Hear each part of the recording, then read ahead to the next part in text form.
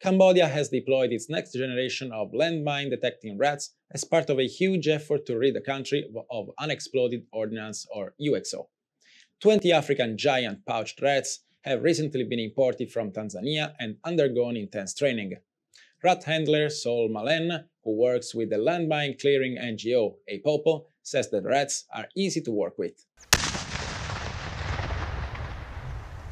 Scarred by decades of civil war, Cambodia is one of the world's most heavily landmined countries, with more than 1,000 square kilometers still contaminated.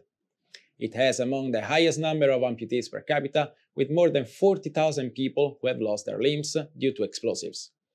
The new Red recruits replace a recently retired group that included multiple award-winning Magawa, who found 71 landmines and 28 other UXO during his five-year career. Magawa was born in Tanzania in 2014 and was brought to Siem Reap in 2016 to begin his bone-sniffing career. He received a gold medal, the UK-based People Dispensary for Sick Animals last year, and for life-saving bravery and devotion to duty.